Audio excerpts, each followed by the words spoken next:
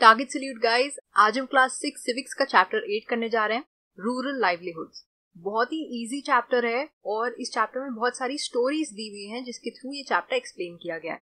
इन stories के through आपको idea लगेगा कि रूरल इंडिया में कैसी लाइवलीहुड्स एग्जिस्ट करती है। लोग कैसे पैसे कमाते हैं, उनका प्रोफेशन क्या होता है। साथ ही साथ हम ये भी जानेंगे कि इन प्रोफेशन में प्रॉब्लम्स क्या होती है। जैसा कि आपको मालूम है कि जब अलग अलग रीजन में रहते हैं तो लोगों का काम डिफरेंट होता है। वो कौन से प्लांट्स उगाते हैं ट्रीज क्रॉप्स ये सब भी डिफरेंट होता है। और साथ ही साथ उनके लिए क्या चीज़ें इंपॉर्टेंट हैं उनकी लाइफ की प्रायोरिटीज भी काफ़ी डिफरेंट हो सकती हैं।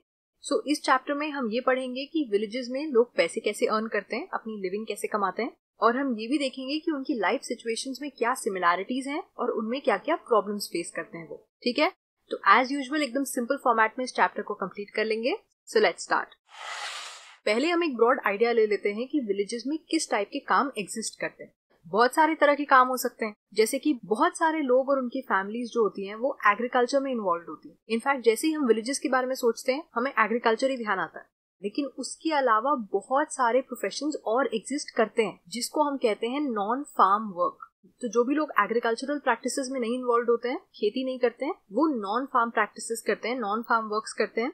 उसके साथ साथ काफ़ी लोग सर्विसेज़ भी प्रोवाइड करते हैं। जैसे कि blacksmith nurses teachers washerman weavers barbers cycle repair person ये कितने सारे लोग हैं जो कितने सारे काम करते हैं। इसके अलावा क्या काम होता है? शॉपकीपर्स एंड ट्रेडर्स जो लोग जैसे चाय की दुकान चलाते हैं या ग्रोसरी शॉप चलाते हैं, कपड़े की दुकान चलाते हैं फर्टिलाइजर्स और सीड्स बेचते हैं, ये सारे शॉपकीपर्स होते हैं ट्रेडर्स होते हैं। इसके अलावा और भी प्रोफेशन होते हैं, जैसे कंस्ट्रक्शन वर्कर्स या लॉरी ड्राइवर्स ट्रक ड्राइवर्स ऐसे कितने सारे काम हैं जो लोग करते हैं स्पेशली रूरल एरियाज़ में। तो जैसा कि मैंने आपसे कहा, इस चैप्टर में बहुत सारी छोटी स्टोरीज हैं और जनरली हम क्या करते हैं, हम उन स्टोरीज के की पॉइंट्स आपको बताते हैं, लेकिन यहाँ पे पूरा चैप्टर ही स्टोरीज से बना हुआ है। तो इसलिए इन स्टोरीज को हम थोड़ा सा डिटेल में पढ़ेंगे, ठीक है? तीन शॉर्ट स्टोरीज हैं, जिसमें से दो जो हैं, वो कलपट्टू विलेज में बेस्ड हैं। ये विलेज तमिलनाडु का जो कोस्ट है कोस्ट लाइन है, उसके पास सिचुएटेड है। कोस्ट मतलब सी के पास। जो थर्ड स्टोरी है, वो कलपट्टू विलेज के पास एक दूसरा गाँव है, पुदुपेट, वहाँ पे बेस्ड है। इन स्टोरीज से हमें एक जनरल आइडिया लगेगा कि रूरल एरियाज़ में लाइवलीहुड कैसी होती है। पहले जान लेते हैं थोड़ा सा कलपट्टू विलेज के बारे में, क्योंकि दो स्टोरीज वहीं पे बेस्ड है। कलपट्टू विलेज के जो लोग होते हैं, वो बहुत सारे काम करते हैं, जैसे कि दूसरे विलेजेस में करते हैं। ये विलेज जो है, ये छोटे छोटे हिल्स से सराउंडेड है। तो एक तो सी के पास सिचुएटेड है, दूसरा आसपास छोटे छोटे हिल्स भी हैं। यहाँ पे जो मेन क्रॉप उगाया जाता है, वो है paddy which is rice maximum families की अर्निंग एग्रीकल्चर से आती है। इसका मतलब मैक्सिमम फैमिलीज़ एग्रीकल्चर में इन्वॉल्व है।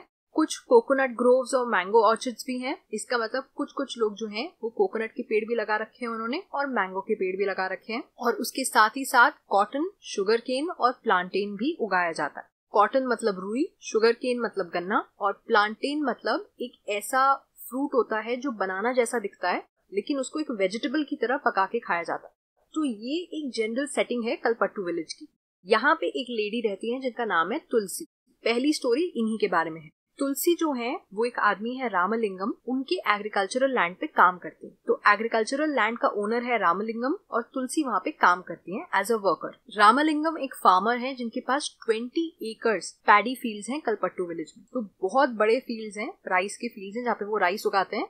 तुलसी जो है वो शादी से पहले भी, अपनी मैरिज से पहले, जिस विलेज में रहती थी, वहाँ पे भी वो एज एन एग्रीकल्चरल वर्कर काम करती थी पैडी फ़ील्ड में। तो उनको आदत है ऐसे काम करने की। उनके जो वर्क आवर्स हैं वो सुबह एट थर्टी से शाम को फोर थर्टी तक होते हैं और वो यही काम इतने सालों से कर रही हैं। इनफैक्ट अब जब उनकी एज थोड़ी ज़्यादा हो गई है तो अब उनको ये काम करने में प्रॉब्लम होती है, क्योंकि पैडी की फ़ील्ड में जब आप काम करते हो तो आपको लगातार झुक के काम करना पड़ता है और आपके पैर जो होते हैं, वो पानी में होते हैं। तो जैसे जैसे उनकी एज बढ़ रही है, ये काम उनको थोड़ा स्ट्रेसफुल लग रहा है। रामलिंगम की जो वाइफ है, उनका नाम है करुथम्मा और वो सारे वर्कर्स को सुपरवाइज करती हैं, उनका काम देखती हैं। तुलसी यहाँ पे वर्कर की तरह काम तो करती हैं, लेकिन पूरे साल नहीं करती। It is not a regular work उनको एवरीडे काम पे नहीं आना पड़ता है। जब इस फ़ील्ड में काम रिक्वायर्ड होता है वर्कर्स रिक्वायर्ड होते हैं, तब इनको बुलाया जाता है, ये काम करते हैं और फिर चले जाते हैं। तो ये एक परमानेंट जॉब नहीं है। उनको फ़ील्ड पे generally four times a year बुलाया जाता है।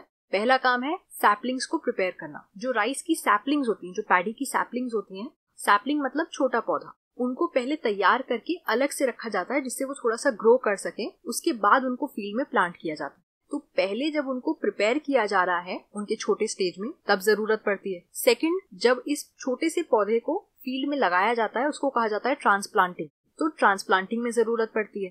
तीसरा, जब प्लांट्स थोड़े बड़े हो जाते हैं तो प्लांट्स के साथ साथ वहाँ पे वीड भी उग जाती है। जो जंगली घास होती है, वो भी उग जाती है। तो उसको हटाना ज़रूरी होता है। तो वीडिंग करने के लिए मतलब उन वीड्स को निकालने के लिए फिर वर्कर्स बुलाए जाते हैं। और लास्टली जब हार्वेस्ट करना होता है मतलब क्रॉप्स तैयार हो चुके हैं, अब उनको हार्वेस्ट करना है क्रॉप की कटाई करनी है, जिससे अब आप उसको स्टोर कर सको या बेच सको तो उसके लिए भी वर्कर्स बुलाए जाते हैं। रामलिंगम जो है, वो वर्कर्स को फोर्टी रुपीज़ पर डे देते हैं तो that is their earning per day Tulsi का जो पहले वाला विलेज था, जहाँ वो मैरिज से पहले रहती थी, वहाँ पे इससे थोड़े से ज़्यादा पैसे मिलते थे लेकिन तुलसी फिर भी यहाँ पे काम कर रही हैं क्योंकि रामलिंगम प्रोवाइड्स डिपेंडेबल वर्क इसका मतलब उनको मालूम है कि कम से कम साल में चार बार ऐसा टाइम आएगा जब हमें यहाँ पे काम मिलेगा ही मिलेगा। ऐसा इसलिए क्योंकि रामलिंगम जो है, वो हर साल उन्हीं वर्कर्स को बुलाते हैं काम करने के लिए। वो दूसरे विलेजेस में जाके चीप लेबर नहीं ढूंढते हैं कि भाई सबसे सस्ता जो मिल जाए, हम उसको बुला लाएँ। वो इतना ये सब नहीं करते हैं। वो सेम वर्कर्स को ट्रस्ट करते हैं और उन्हीं को हर साल बुलाते हैं। तो इससे वर्कर्स का भी फ़ायदा होता है क्योंकि उनको मालूम है कि ये काम फिक्स्ड है और हमें ये काम मिलने ही वाला है। तो हर साल इस काम से जो थोड़े बहुत पैसे आते हैं, वो पक्के हैं, वो आएँगे अब तुलसी के वर्क के बारे में जान लिया। अब थोड़ा सा उनकी पर्सनल लाइफ के बारे में जान लेते हैं।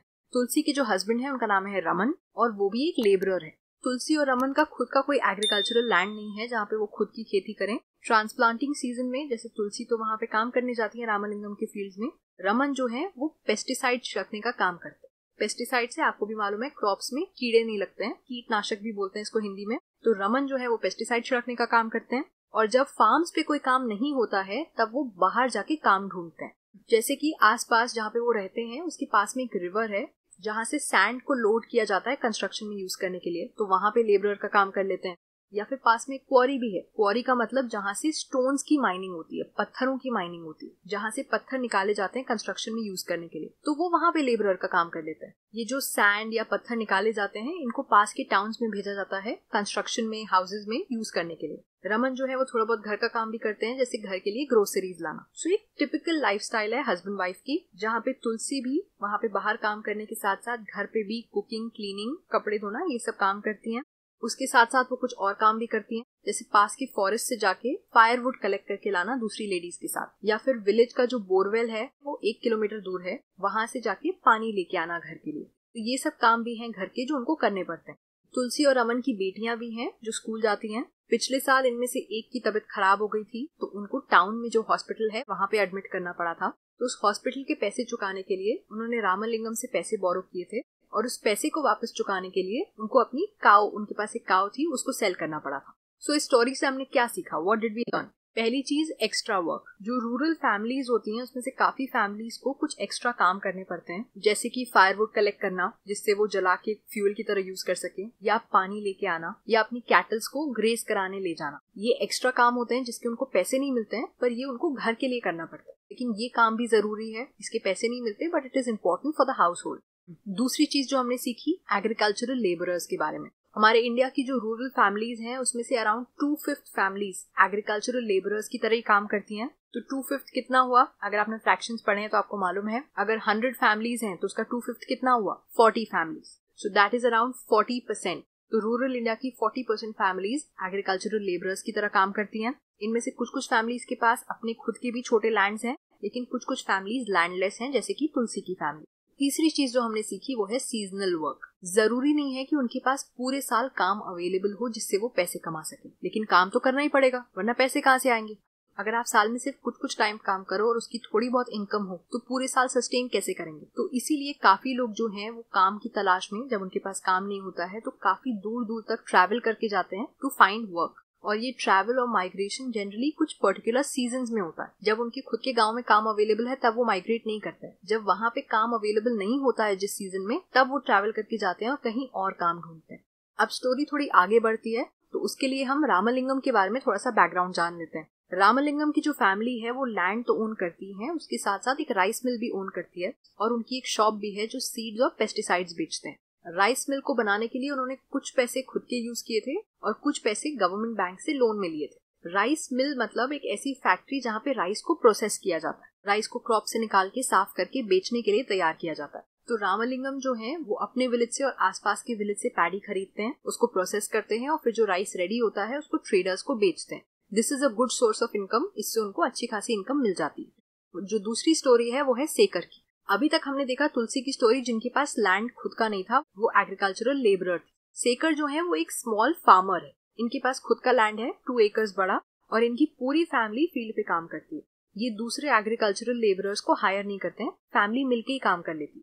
कभी कभी जब वर्कलोड इंक्रीज हो जाता है, जैसे स्पेशली हार्वेस्ट सीज़न में जब बहुत मेहनत लगती है तो एग्रीकल्चरल लेबरर हायर करने के बजाय ये क्या करते हैं, आसपास के दूसरे फार्मर्स की हेल्प ले लेते हैं। तो जो पड़ोसी फार्मर्स है, वो भी आके हेल्प कर देते हैं। फिर जब उनके यहाँ हार्वेस्टिंग होती है तो सेकर और उनकी फैमिली भी जाके वहाँ हेल्प कर देती है। तो इस तरह से नेबर्स जैसे एक दूसरे की हेल्प करते हैं, वैसे ये लोग अपना काम कर लेते हैं। सेकर ने अपने काम के लिए, अपने फ़ील्ड के लिए एक ट्रेडर से सीड्स और फर्टिलाइज़र फर्टिलाइज़र मतलब खाद, जिससे क्रॉप्स अच्छे उगते हैं। तो सीड और फर्टिलाइजर्स को उधार पे लिया था और इस उधार को चुकाने के लिए उनकी डील ये हुई थी कि जब वो राइस उनका हार्वेस्ट हो जाएगा पैडी हार्वेस्ट हो जाएगा, तब उसमें से कुछ हिस्सा वो ट्रेडर को कम दाम पे बेच देंगे, उस लोन को चुकाने के लिए। सेकर की जो फ़ील्ड है टू एकर्स की फ़ील्ड, उससे अराउंड उनको सिक्सटी बैग्स ऑफ़ पैडी मिल जाते हैं। इसमें से कुछ बैग्स तो वो ट्रेडर को दे देंगे अपना लोन सेटल करने के लिए, अपना लोन चुकाने के लिए, और कुछ बैग्स वो अपने घर के लिए रख लेंगे, जिसको वो खाने की तरह घर में यूज़ कर पाए। लेकिन ये जो राइस है, ये उनके लिए सिर्फ़ एट मंथ्स चलेगा, जो वो अपने पर्सनल यूज़ के लिए रखेंगे that will last only for eight months तो उनको कुछ एक्स्ट्रा पैसे चाहिए, जिससे वो बाकी बचे हुए महीनों में भी खाना प्रोवाइड कर सकें अपने घर को। तो इस एक्स्ट्रा इनकम के लिए वो रामलिंगम के राइस मिल में काम करते हैं। यहाँ पे वो हेल्प करते हैं दूसरे फार्मर्स से पैडी कलेक्ट करके लाने में। और साथ ही साथ सेकर के पास एक काउ भी है, जिसका मिल्क वो लोकल मिल्क कोऑपरेटिव में सेल करते हैं। मिल्क कोऑपरेटिव एक ऐसी कंपनी होती है, जहाँ पे जितने भी लोग हैं, जिनके पास काउज या बफलोज हैं, वो मिल्क लेके आते हैं मिल्क कोऑपरेटिव में। और मिल्क कोऑपरेटिव क्या करता है, उनको उसके अच्छे पैसे देता है और उस मिल्क को प्रोसेस करके पैक करके सेल करता है मार्केट में। ऐसा एक बहुत ही फ़ेमस इंडिया का मिल्क कोऑपरेटिव है अमूल दूसरा है मदर डेयरी तो ये सब मिल्क कोऑपरेटिव है. तो इस तरह से जो भी एक्स्ट्रा इनकम आती है सेकर के पास इससे वो बचे हुए महीनों में अपना घर चला पाते हैं. सो so, इस स्टोरी से हमने क्या सीखा? वॉट डिड वी लर्न पहली चीज़ डेट के बारे में. डेट मतलब उधारी. काफ़ी बार फार्मर्स को सीड्स फर्टिलाइजर्स ऐसी चीज़ें उधार पे लेनी पड़ती हैं या फिर वो इसके लिए अगर पैसे लेते हैं तो मनी लेंडर्स से पैसे बोरो करते हैं. मनी लेंडर्स से पैसे उधार पे लेते हैं अगर सीड्स अच्छी क्वालिटी की नहीं हुई या फिर क्रॉप्स कीड़ों ने अटैक कर दिया क्रॉप्स खराब हो गए तो मेजर क्रॉप फेलियर हो सकता है। जितनी भी मेहनत करी खेती में, सब बेकार हो जाएगी। क्रॉप्स तब भी खराब हो सकते हैं अगर बारिश सही टाइम पे नहीं हुई। बिकॉज़ पानी बहुत इंपॉर्टेंट होता है क्रॉप्स के लिए और फार्मर्स जो है वो मानसून पे, बारिश पे बहुत डिपेंडेंट होता है। अगर ऐसा कभी कभार होता है तो फार्मर्स जो है वो अपना लोन वापस नहीं चुका पाते। कभी कभी हो सकता है कि लोगों के पास पैसे कम पड़े और सर्वाइव करने के लिए या अपनी फैमिली को सपोर्ट करने के लिए उनको और पैसे बोरो करने पड़े। और ऐसा करते करते काफ़ी बार ऐसा होता है कि लोन इतना बड़ा हो जाता है कि उसको वो वापस चुका ही नहीं पाते। अगर ऐसा हो जाता है तो हम कह सकते हैं कि उनके ऊपर उधारी चढ़ गई they are in continuous debt तो ये कॉमन चीज़ है जो फार्मर्स में हो रही है। और इन स्टोरीज से आपको आइडिया लग रहा है कि रूरल इंडिया में जो प्रोफेशन हैं, उनके फीचर्स क्या हैं, उनकी कैरेक्टरिस्टिक्स क्या हैं और लोगों को क्या क्या प्रॉब्लम्स फेस करनी पड़ती है। Terrace farming in Nagaland Nagaland में एक विलेज है, शिजामी, जो कि फेक डिस्ट्रिक्ट में सिचुएटेड है। यहाँ के जो लोग हैं, वो चाकेसांग कम्युनिटी के हैं और ये टेरिस कल्टिवेशन करते हैं। इसका मतलब क्या है? टेरिस फ़ार्मिंग का क्या मतलब होता है? इसका मतलब नागालैंड में जो हिल्स का रीजन है, वहाँ पे लैंड को फ्लैट कर दिया जाता है फ्लैट प्लॉट्स डिवाइड कर दिए जाते हैं और इस तरह से कार्व किए जाते हैं, जैसे कि स्टेप्स हो। सीढ़ियाँ होती है ना स्टेप्स बस वैसा ही बना देते हैं लैंड को। हर प्लॉट के जो साइड्स होते हैं, उनको थोड़ा सा रेस कर दिया जाता है जिससे पानी नीचे ना जाए। पानी उसी के अंदर, उस एरिया के अंदर रिटेन हो पाए, रुक पाए। इससे क्या होता है? पानी नीचे नहीं बह जाता है। उसी खेत के अंदर या उस लैंड के प्लॉट के अंदर पानी रिटेन रहता है, जिससे कि राइस का कल्टीवेशन हो सकता है। क्योंकि राइस कल्टीवेशन में पानी की बहुत ज़्यादा ज़रूरत होती है। तो आप ये समझो कि वो हिल को काट के कार्व करके फ्लैट प्लॉट्स ऑफ़ लैंड बनाते हैं, जहाँ पे वो फ़ार्मिंग करते हैं। और उन प्लॉट्स ऑफ़ लैंड के साइड्स को थोड़ा सा हाई कर देते हैं, जिससे पानी नीचे ना बह जाए और खेत के अंदर ही रहे। इसको कहते हैं टेरिस फ़ार्मिंग शिजामी के जो लोग हैं, उनके सबके इंडिविजुअल फील्ड्स हैं, सबके खुद के फील्ड्स हैं, लेकिन वो साथ में मिलके एक दूसरे के फील्ड्स में भी काम करते हैं। छह से आठ लोगों का ग्रुप बना के माउंटेन का एक साइड लेते हैं और वहाँ की सारी वीड्स साथ में मिलके साफ़ कर देते हैं। जो जंगली घास उग जाती है ना, जिसको वीड्स कहते हैं, उसको साफ़ करने के लिए इस तरह के ग्रुप्स बनाते हैं और मिलके काम करते हैं। और एक बार जब काम खत्म हो जाता है तो शाम को सब मिलके साथ में खाना खाते हैं। और यही चीज़ चलती रहती है कई दिनों तक जब तक काम कंप्लीट ना हो जाए। तो आप देख सकते हो फ़ार्मिंग के अंडर में उन्होंने कितनी अच्छी कम्युनिटी बना ली है आपस में, जहाँ पे एक दूसरे की हेल्प करते हैं, एक दूसरे को सपोर्ट करते हैं और इतने अच्छे से फ़ार्मिंग प्रैक्टिस करते हैं। फिर हम आते हैं एग्रीकल्चरल लेबरर्स और स्मॉल फार्मर्स पे। तुलसी की स्टोरी और सेकर की स्टोरी से हमें ये समझ में आ गया था, तुलसी एक एग्रीकल्चरल लेबरर थी और सेकर जो थे, वो एक स्मॉल फार्मर थे। तो उनकी स्टोरी से हमें काफ़ी आइडिया लग गया था कि इन लोगों को अपने प्रोफेशन में क्या प्रॉब्लम फेस करनी पड़ती है। इंडिया में nearly two out of five rural families are agricultural labour families मतलब रूरल इंडिया में हर फाइव फैमिलीज़ में से almost two families agricultural labourers हैं। That makes it forty percent two out of five कितना हुआ? फोर्टी परसेंट ये सारे लोग उस काम पे डिपेंड करते हैं जो इनको दूसरों की फील्ड्स में मिलते हैं। इनमें से काफ़ी जो होते हैं वो लैंडलेस होते हैं मतलब उनके खुद के पास कोई लैंड नहीं होता है। या फिर हो सकता है इनमें से कुछ लोगों के पास बहुत छोटे प्लॉट्स ऑफ़ लैंड हो, जहाँ पे ये थोड़ा बहुत ही एग्रीकल्चर कर पाए। स्मॉल फार्मर्स जैसे कि सेकर उनके केस में वो खुद की खेती तो करते हैं, लेकिन उनके पास इतना प्रोडक्शन नहीं होता है कि वो अपनी सारी डिमांड्स को, अपनी सारी नीड्स को मीट कर पाए। मतलब अपनी सारी जरूरतों को पूरा कर पाए।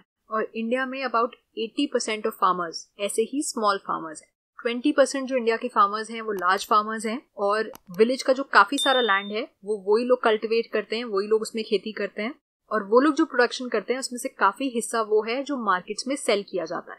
ये जो लार्ज फार्मर्स होते हैं, ये कुछ और काम भी करते हैं साथ में, जैसे कि इनमें से काफ़ी लोग शॉप्स खोल देते हैं या फिर मनी लेंडिंग करते हैं, दूसरे लोगों को पैसे देते हैं उधार पे ट्रेडिंग करते हैं या छोटी फैक्ट्रीज खोल लेते हैं, इस टाइप के दूसरे काम भी करते हैं। तो अभी तक हमने जितना भी पढ़ा वो था फ़ार्मिंग के बारे में। So we now know that many families in rural India practise agriculture वो फ़ार्मिंग करते हैं। लेकिन सब लोग फ़ार्मिंग नहीं करते कुछ और भी काम करते हैं। जैसे कि हमने सबसे पहले डिस्कस किया था इस चैप्टर की स्टार्टिंग में। सो अपार्ट फ्रॉम फ़ार्मिंग दूसरे काम भी करते हैं। जैसे कि एनिमल्स को पालना, दूध का प्रोडक्शन डेयरी का प्रोडक्शन करना फिशिंग करना एक्सेट्रा जैसे कि फॉर एग्ज़ाम्पल सेंट्रल इंडिया में काफ़ी सारे ऐसे विलेजेस हैं जहाँ पे फ़ार्मिंग तो इम्पोर्टेंट है ही, लेकिन वहाँ पे फॉरेस्ट भी हैं। तो फॉरेस्ट से सामान लाके कलेक्शन करना, वो भी एक इम्पोर्टेंट पार्ट ऑफ़ लाइवलीहुड है। क्योंकि फॉरेस्ट में ऐसी बहुत सारी चीज़ें होती हैं जिसको बेच के या जिसको यूज़ करके रूरल फैमिलीज़ पैसे कमा सकती है। जैसे कि क्या? महुआ, तेंदू लीव्स हनी इस टाइप की कोई भी चीज़ें जो वो फॉरेस्ट से कलेक्ट करते हैं, उनको वो ट्रेडर्स को बेचते हैं, जिससे इन फैमिलीज़ को पैसे मिलते हैं। कुछ फैमिलीज़ जो होती हैं, वो विलेज कोऑपरेटिव सोसाइटी में मिल्क भी सेल करती हैं, या फिर हो सकता है जो आसपास के टाउन्स हैं थोड़े बड़ी सिटीज़ हैं टाउन्स हैं, वहाँ पे जाके मिल्क सेल करें, इससे भी वो पैसे कमाते हैं। और कोस्टल एरियाज़ में, जो सी के पास जो एरिया सिचुएटेड है, वहाँ पे लोग फिशिंग करके भी अपना घर चलाते हैं। इसी से रिलेटेड हमारी थर्ड स्टोरी है, जो पुदुपेट विलेज में सिचुएटेड है। एक विलेज है पुदुपेट जो कलपट्टू विलेज के पास है और यहाँ पे लोग फिशिंग करके पैसे कमाते हैं। इनका जो घर है, वो सी के पास है, इसीलिए फिशिंग कर पाते हैं।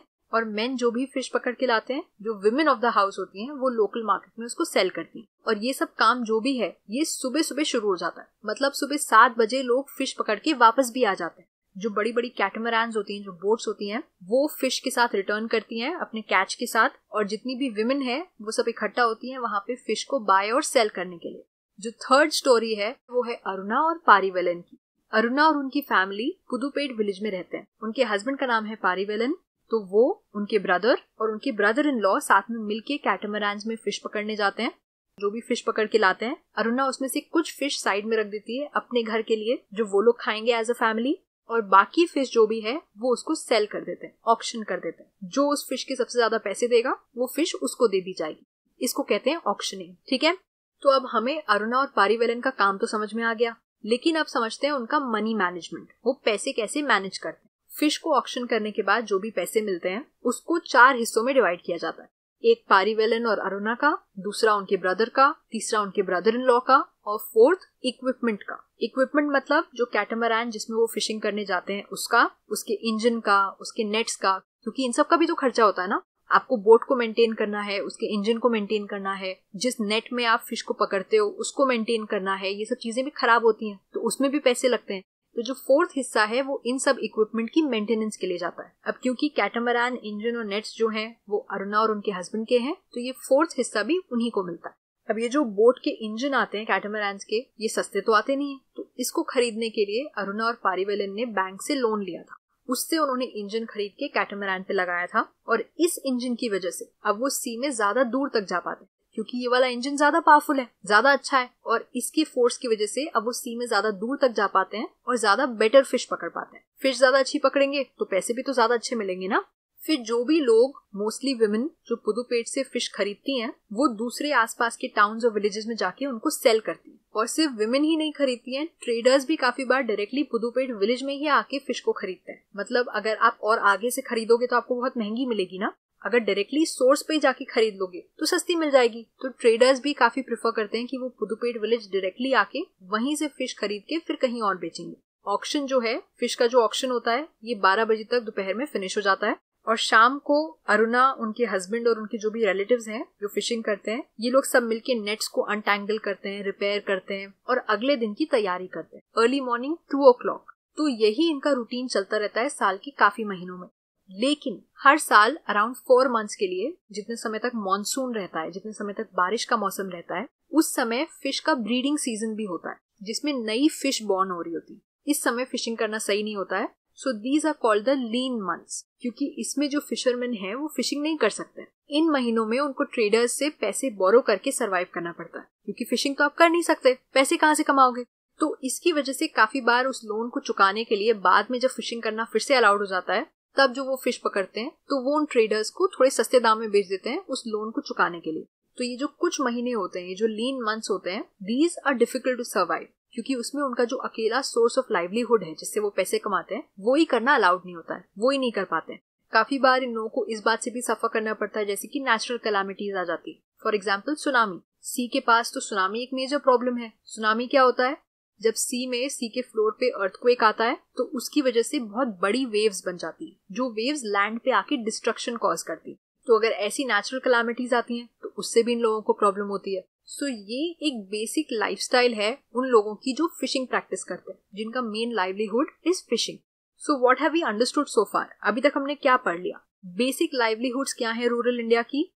कुछ लोग फार्म्स पे काम करते हैं और कुछ लोग नॉन फार्म एक्टिविटीज़ से पैसे कमाते हैं। जो भी लोग फार्म्स पे काम करते हैं, उनको अलग अलग चीज़ें करनी पड़ती हैं, जैसे अपना लैंड प्रिपेयर करना पड़ता है। फिर सीड्स डालनी पड़ती हैं। जो जंगली घास या वीड उग जाती है, उसको हटाना पड़ता है। क्रॉप्स जब तैयार हो जाते हैं तो उनको हार्वेस्ट करना होता है, उनकी कटाई करनी होती है, जिससे फिर उसको सेल कर सके। सबसे ज़्यादा बिज़ी लोग तब होते हैं, जब आपको सोइंग करनी है मतलब जब आप बीज डाल रहे हो, और जब आपको हार्वेस्टिंग करनी मतलब जब आप क्रॉप्स की कटाई कर रहे हो, तब सबसे ज़्यादा काम होता है। तो ये जो भी काम है, ये एक सर्टन पॉइंट ऑफ़ टाइम पे करने पड़ते हैं। मतलब पहले आप बीज डालोगे, फिर थोड़े दिनों बाद उसमें प्लांट्स आएँगे, फिर उसके कुछ टाइम बाद आप वीडिंग करोगे और लास्ट में आप हार्वेस्ट करोगे।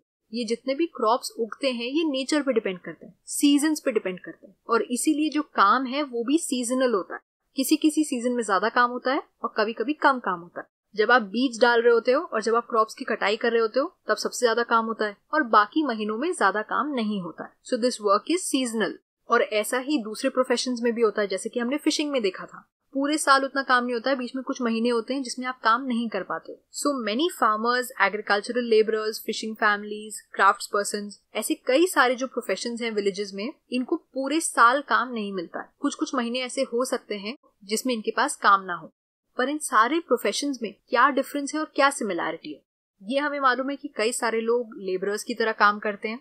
काफ़ी सारे जो फार्मर्स हैं, वो अपने लिए भी क्रॉप्स उगाते हैं और मार्केट में सेल करने के लिए भी क्रॉप्स उगाते हैं। काफ़ी बार फैमिलीज़ को अपने सर्वाइवल के लिए पैसे बोरो करने पड़ते हैं, जब उनके पास काम अवेलेबल नहीं होता है या जब काम का सीज़न नहीं होता है तब।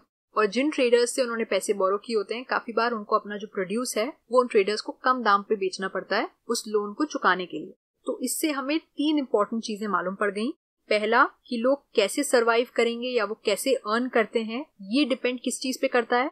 उस लैंड पे जिसको वो कल्टिवेट कर रहे हैं। वो कितना बड़ा है, किस चीज़ का है, वहाँ पे क्या उगाया जाता है, इन सारे फैक्टर्स पे डिपेंड करता है कि उनकी अर्निंग क्या होगी और वो कैसे सरवाइव करेंगे। कंट्री के अलग अलग रीजन में अलग अलग क्रॉप्स उगाए जाते हैं, हमें ये भी मालूम पड़ गया। और थर्ड और सबसे इम्पोर्टेंट कि चाहे वो किसी भी रीजन में हो और उनके बीच में जितने भी डिफरेंसेस हों, लेकिन उनकी जो लाइफ सिचुएशंस हैं, उनकी जो प्रॉब्लम्स हैं, उनकी एवरीडे लाइफ में काफ़ी सारी सिमिलैरिटीज होती हैं। सो देयर लाइफ स्टाइल में भी different but their living condition are very similar इसी के साथ हमने ये चैप्टर पूरी तरह से कंप्लीट कर लिया है। आई होप आपको ये समझ में आ गया होगा। अगर आपको हमारा लेक्चर पसंद आया होगा इस तो प्लीज़ सब्सक्राइब लाइक और कमेंट करिए। हमें बताइए कि आपको हमारे लेक्चर्स कैसे लगते हैं। I'll see you guys next time with the next chapter. Tab tak ke liye stay safe and study well. Bye bye.